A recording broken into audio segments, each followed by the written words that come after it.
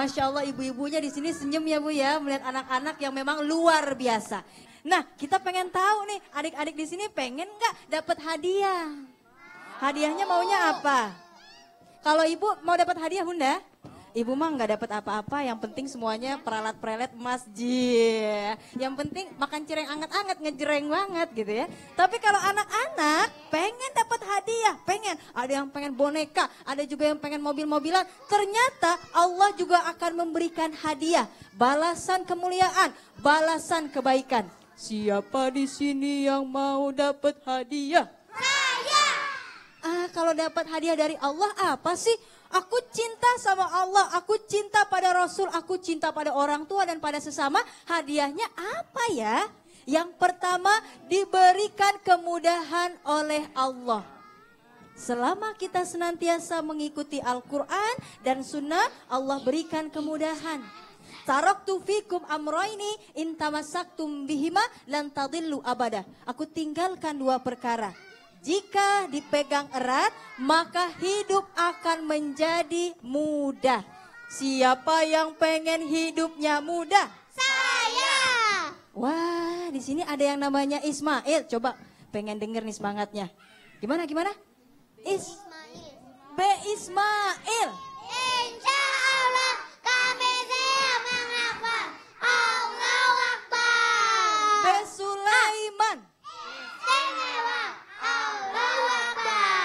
Masya Allah semangat semuanya ya. Iya, semangat semuanya. Kemudian apa lagi? Yang kedua dapat pertolongan dari Allah. Aduh, aku kan susah hidupnya. Kadang juga kalau aku kesulitan belajar, aku pengen ada yang nolongin. Ada guru, kemudian ada ayah bunda. Pengen nggak dapat kemudahan dan pertolongan? Pengen. Nah, cinta kepada Allah, Allah berikan pertolongan. Contohnya apa kalau lu? Kita sama-sama yuk tawakal kepada Allah karena ada nabi yang dapat membelah lautan nabi siapa? Nabi Mu Musa. Musa. Depannya laut merah kemudian dikejar oleh Fir'aun dan bala tentaranya. Waduh, dikejar oleh Fir'aun bala tentaranya. Bagaimana ya? Ternyata Nabi Musa diberikan mukjizat berupa tongkat Nabi Musa. Huh, Bismillah. Wah, ada jalannya. Kemudian Nabi Musa pun selamat. Alhamdulillah. Ada Nabi Ibrahim. Siapa yang tahu Nabi Nabi Ibrahim? Ibrahim. Ibrahim. Wah, kalau lu ada patung ya, mereka semuanya menyembah berhala. Iya. Iya. Tapi Nabi Ibrahim bilang, ini seharusnya kita semua menyembah siapa? Siapakah Tuhanmu? Allah. Siapakah nabimu? Muhammad. Wah ini tidak boleh. Akhirnya dihancurkan berhala-berhala tersebut oleh Nabi Ibrahim. Berhala yang besar kok nggak dihancurin? Kampaknya ditaruh di leher berhala yang besar. Sampai Raja Namrud marah. Woi siapa ini yang menghancurkan berhala-berhala kita? Ah, yang tidak ikut peribadatan hanya Ibrahim. Panggil Ibrahim. Ibrahim dibakar hidup-hidup. Iya. Tapi eh, terbakar nggak? Tidak. Karena cinta kepada Allah, maka Allah selamatkan. Firman Allah, Ya narukuni bardan wasalaman ala Ibrahim. Wahai api, jadi dingin, selamatkan Ibrahim. Alhamdulillah, selamat. Alhamdulillah. Sulaiman. Kemudian ada lagi Nabi Muhammad saat hijrah mendapatkan pertolongan. Seneng gak kalau misalnya ada teman yang baik? Seneng. Seneng gak kalau ada teman yang jahat? Enggak. Enggak kalau lu. Lah ada yang jahat kepada Nabi Muhammad sampai dikejar membawa pedang. Shh, kita bunuh Muhammad, kita bunuh Muhammad. Ternyata Nabi Muhammad ada di dalam gua. Namanya Gua Tur. Heh, bersama sahabatnya Abu Bakar Siddiq. Ternyata Allah berikan pertolongan. Di depannya, di sampingnya ada burung dara yang sedang bertelur. Kemudian juga Wah, goanya ditutupi oleh sarang laba-laba. Subhanallah. Insya Allah meraih kemudahan, kemudian juga pertolongan dan mendapatkan surga dari Allah. Ubur-ubur di sungai lihat, hati-hati kita nyebur dalam maksiat. Buah naga di belah empat, semoga bermanfaat. Masya Allah. Terima kasih Ustazah Lulu. Alifah, Iya. ayo sok sini deh. Kalau mau nanya silakan. Jadi mumpung di sini Alifa nanya sepuas-puasnya. Oke, makasih Boleh. ya. Alifa mau nanya sama Ustadz Iya. dan Ustazah Lulu. Iya. Alifa mau nanya, gimana sih cara kita ngingetin orang tua biar kesalahan orang tua tuh gak terulang lagi gitu. Ah, gini. Ada saya ambil kisahnya Hasan Usen yang melihat sosok kakek-kakek yang cara wudhunya nggak benar. Cara mengingatkannya, Hasan dan Usen berperan. Kayak kayak main ka- kayak bermain peran. Usen yang melakukan cara wudhu sesuai yang dilakukan oleh sang kakek tadi. Maka Hasan yang nasihati adiknya, jangan begitu. Jadi boleh menasihati orang tua dengan cara apa? Dengan tidak secara langsung, tapi menggunakan perantara. Contoh, kalau sekarang anak-anak kan enak, Ma, aku mau dong, gimana caranya sholat? Gitu, supaya orang tuanya sholat. Ma, aku ada PR nih, apa sih doanya seperti, jadi diajarkan. Kalau orang tua lagi berbuat kesalahan, cara mengingatkannya, aku aku sayang sama mama deh. Kalau mama tidak jahat, tidak suka marah-marah. Siapa yang pernah ingatin orang tuanya angkat tangan? Wah ini anak-anak. Ibu marah kan? Ibu tersinggung nggak kalau ini nasihat sama anak? Tapi kalau pakai cara aman ya bu? Iya gitu.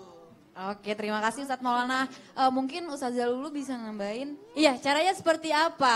Eh, yang pertama tentunya dalam Quran surah Al-Isra ayat 23. eh, apa mengatakan wa qadara rabbuka alla ta'budu illa iya wa bil walidaini ihsana terhadap kedua orang tuamu berbuat baiklah.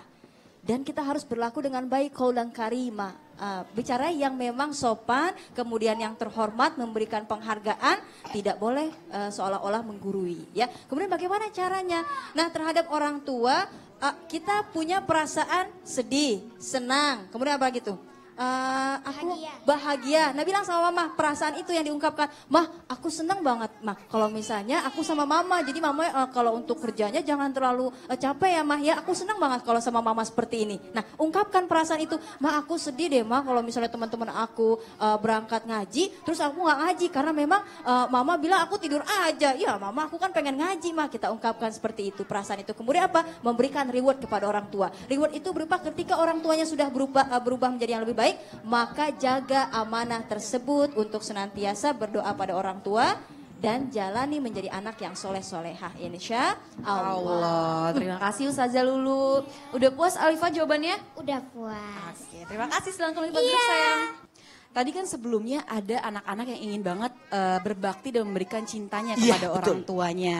Nah, tapi ada juga orang tuanya yang ternyata sudah dipanggil duluan sama Allah. Oh iya betul. Nah, Pak Ustadz, bentuk-bentuk pengabdian dan rasa cinta yang diberikan oleh anak-anak kepada orang tuanya yang sudah meninggal, itu bagaimana sih Pak Ustadz? Makasih banyak Ustadz Maulana. Caca. Baik, jamaah. Oh jamaah. Alhamdulillah. Bakti anak kepada orang tuanya itu tidak ada batasnya. Makanya anak itu bukan balas jasa, tapi berbuat ba berbuat baik. Sekalipun dikasih dunia seluruh isinya, Bu, kepada orang tua tidak akan terbalas air susu setetes yang pernah kita isap. Mohon maaf, mohon maaf buat di mana pun berada, Ibu. Bu. Ada ada pembelajaran besar buat kita. Sosok seorang laki-laki yang menangis karena masih ingin berbakti kepada orang tuanya, tapi orang tuanya sudah tidak ada lagi. Masih bisakah berbakti? Masih bisa. Caranya mendoakan kedua orang tua. Doakan. Ingat ya, doa orang tua ke anak, doa anak kepada orang tua langsung nyampe walaupun tidak disebut nama orang tuanya. Langsung nyampe.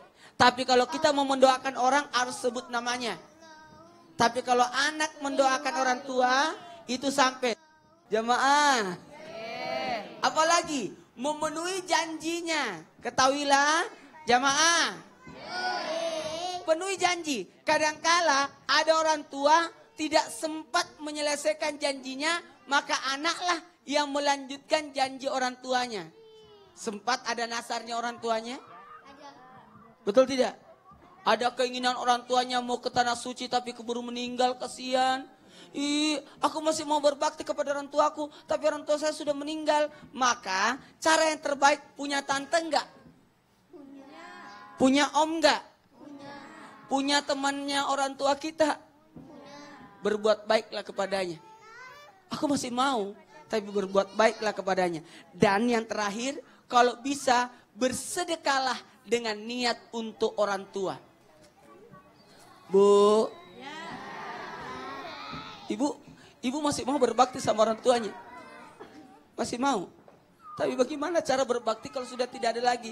Maka teknik yang paling terbaik adalah sedekah niat orang tua. Apa salahnya sosok anak, sosok anak kalau berangkat umroh, umroh kan juga orang tuanya. Jadi masih bisa berbuat baik kepada orang tua dengan cara sedekah, berbuat baik, penuh janji, laksanakan nazarnya, termasuk ber, tetap menjalin silaturahmi kepada sahabatnya, kerabatnya orang tua. Amin ya rabbal alamin. Terima kasih Ustadz Maulana. Tepuk tangan dong buat Ustadz Maulana. Ustadz Syam, mohon izin dong. Aku mau nanya nih. Kan kebetulan adik-adik di sini kan masuk kelas eh, tahfiz Al-Quran nih Hmm. Ustadz Syam.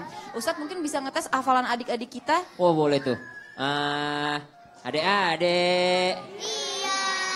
Aku mau panggil yang namanya Saidah. Mana Saidah?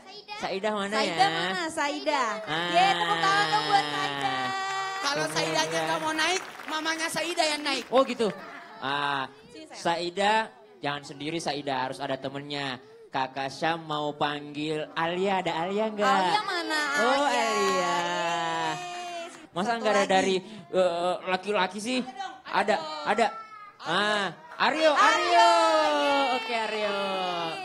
A'udzu billahi rajim. Bismillahirrahmanirrahim.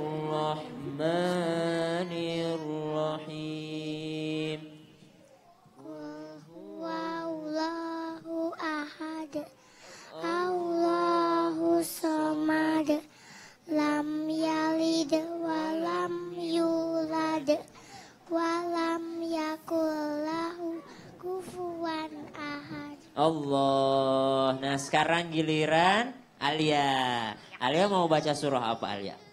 Mazah Al-Humazah tepuk tangan dong buat Alia.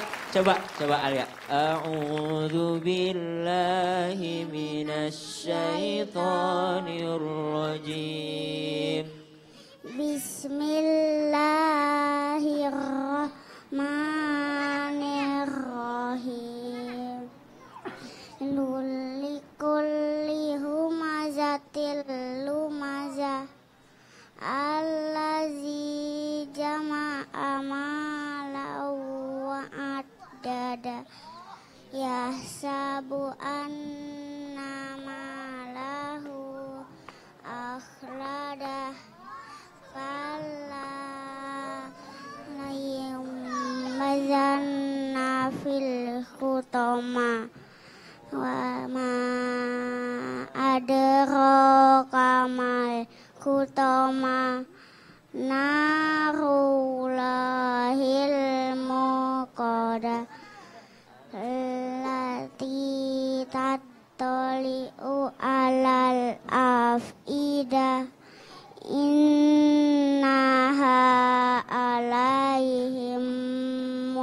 mu'soda Fi amadim mumaddada Masya Allah, sekarang terakhir nih yang jadi imam nih Aryo. Aryo mau baca surah apa sayang?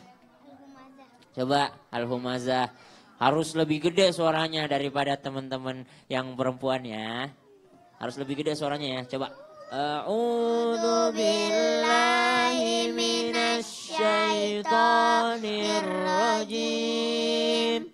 Bismillahirrahmanirrahim. Wailul likulli humazatil lumazah. Allazi jama'a malau wa'ad dadah Yahsabu anna malahu akhlada Alla layumbazanna fil hutomah Ama adra hutamah allati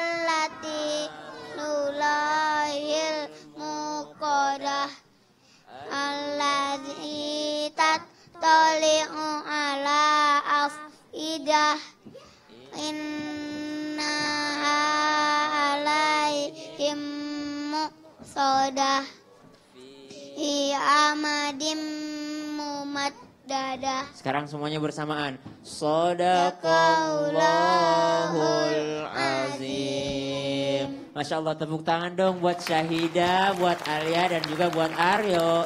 Nah, jamaah yang dimuliakan Allah Subhanahu wa taala, ada sebuah rahasia yang Allah berikan di dalam Al-Qur'an surah Al-Isra. Allah katakan, "Inna sam'a wal basara wal fuada kullu ulaika kana anhu mas'ula." Sesungguhnya pendengaran, penglihatan dan hati semuanya Allah mintai pertanggungjawaban. Coba lihat susunannya. Kenapa Allah sebutkan pendengaran duluan?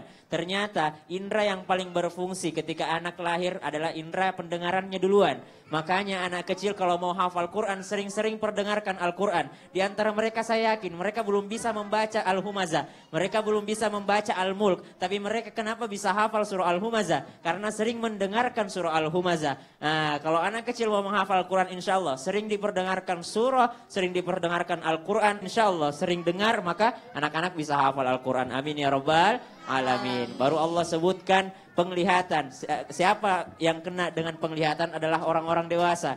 Orang-orang dewasa ketika ingin menghafal Al-Quran maka dengan eh, menggunakan penglihatannya. Sering nonton, membaca, nonton eh, eh, Al-Quran, melihat Al-Quran, siaran Al-Quran. Kemudian orang tua disebutkan adalah hatinya.